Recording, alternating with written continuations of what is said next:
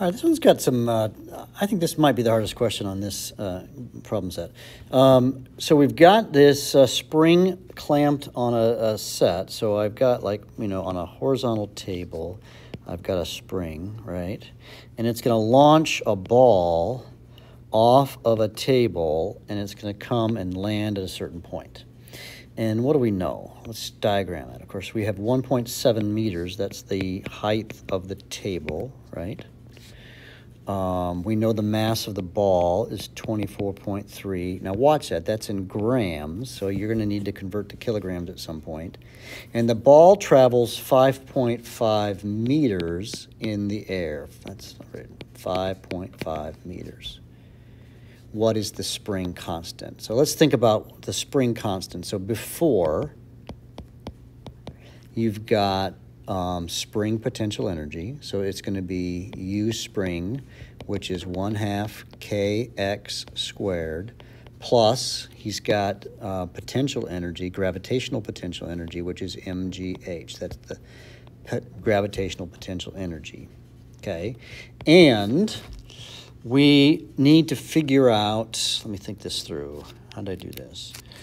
I want to set that equal to the, I need to find the velocity. Right before he left, we're going to set that equal to the, I need to find what that speed is that he took off here. So if you know what v is, you can solve for the rest of these problems. Actually, I'm not sure you're going to need the MGH here. He does have potential energy, but that's going to give you, because we want to find the speed right before he takes off of that. So I don't actually need this MGH right here.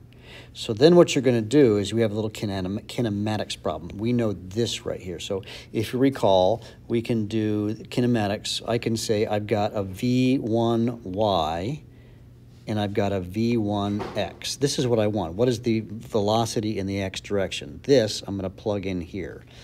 And I know that I know um, y1, y2, a, and t. So v1y, it's 0 because it's not moving in the y directions. y1 is 1.7 meters, y2 is 0 meters, he's going to the ground, right? A is negative 9.8, and you can solve for time. So solve for time using kinematics equations. Then we're going to plug it into the v1x equation. So this is what you're trying to find, v1x, and then we can say x1 is 0, because right, it starts at 0, x2 is 5.1, a is 0. Remember, in the x direction, there is no. So plug it into kinematics equations, and then you can find v1x. And when you plug it into v1x, that gives you the v1x right here, and then you can set it, so then you'll have 1 half kx squared equals 1 half m v1x, if you will, squared.